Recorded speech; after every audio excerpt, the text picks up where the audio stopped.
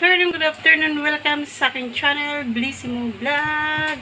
Ayan guys. So, uh, magandang tanghali. Ayan guys, ah, magluluto ako. Simple lang guys.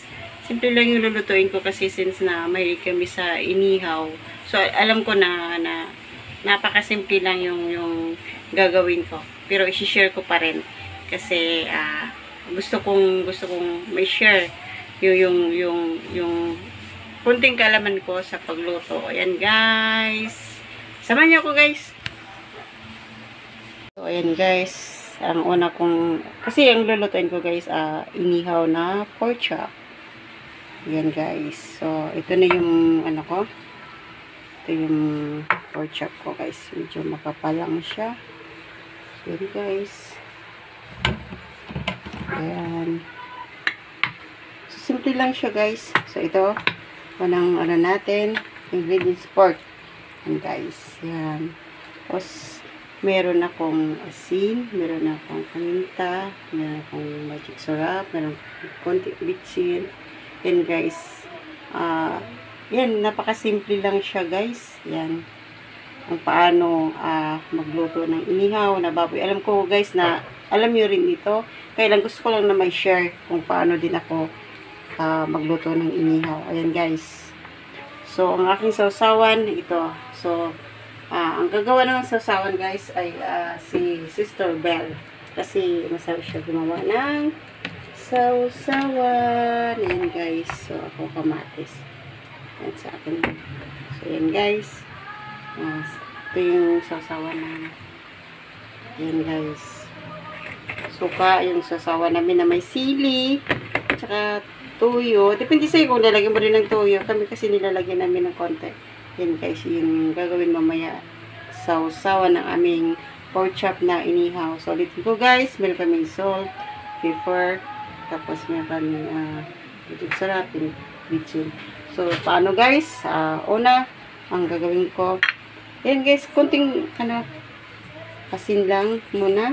Konti para mag-dip siya. Yan. Eh, ko ng konti. Yan guys. So, simple lang. Yan guys. Konti lang siya. Para lang siya. Kasi, lalagyan ko din siya ng ibang ano, pang, pang timpla. Yan guys. Ah, napakasimple lang guys. So, yan. Yung ah, magic syrup. Yan guys. Yan guys. Yan. kailangan na natin kasi kung lulutuin pa natin to ng ano i-prito siya masyado na siyang uh, mantika. So ihaw lang natin. Yan guys. Yan saka yung mixing. Yan guys. Simple lang siya. Dito din. So yan guys so yan Ayan kung ulit pa. So, kanin pa natin. Kasi apat. Ayan. Ayan guys. Tapos, yung paminta. Ayan. Nakakit. Yung paminta.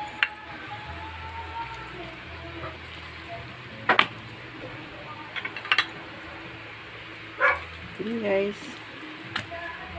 Ah, simple lang guys.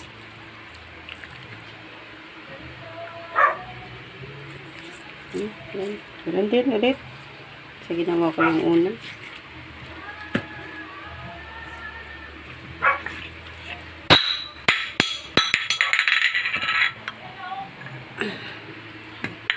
So, bitsin. Yan guys.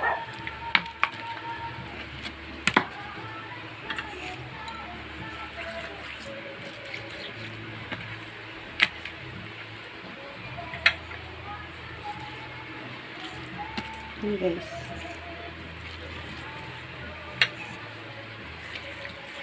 Yan guys. Ito na siya guys. So, i-ano lang natin mga 5 minutes siguro guys. So, yan. So, yung kawali ko guys, ipainit ko na ng konti. Yan. Ayun guys. Ah, samahan niyo ako muli.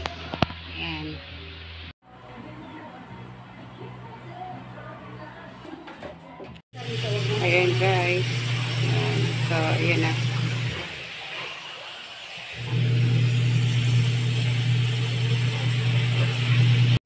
Ayan guys.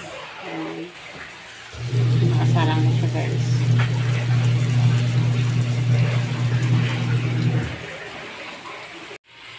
Ayan guys. So, unti-unti ko lang siya binabalakit para maluto guys. Ayan.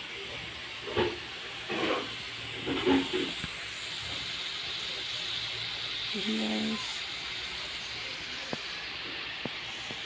Ayan guys. Uh, balik pa rin na natin guys. Ayan. Ko lang siya guys.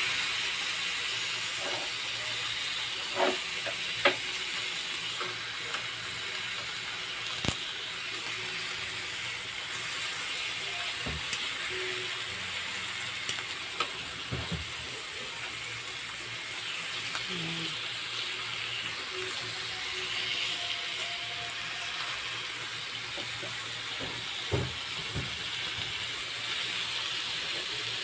itong medyo makapalakan na natin guys.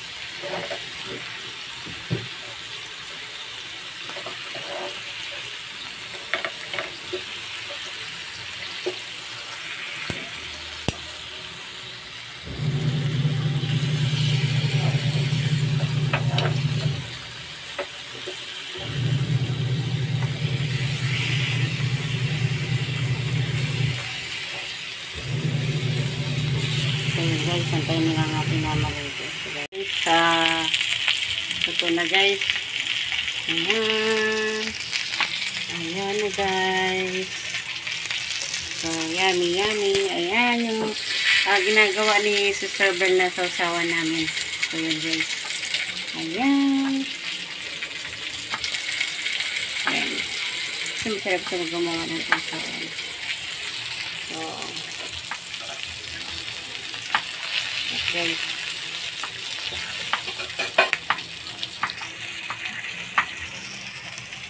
Tikman. So yun guys. Hmm? Ah. Cut guys.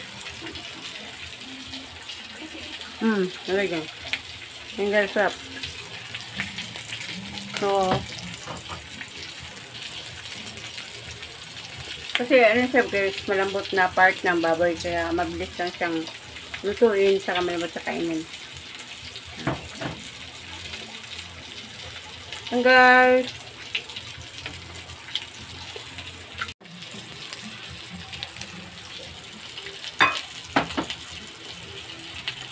Ingat tayo guys. God bless.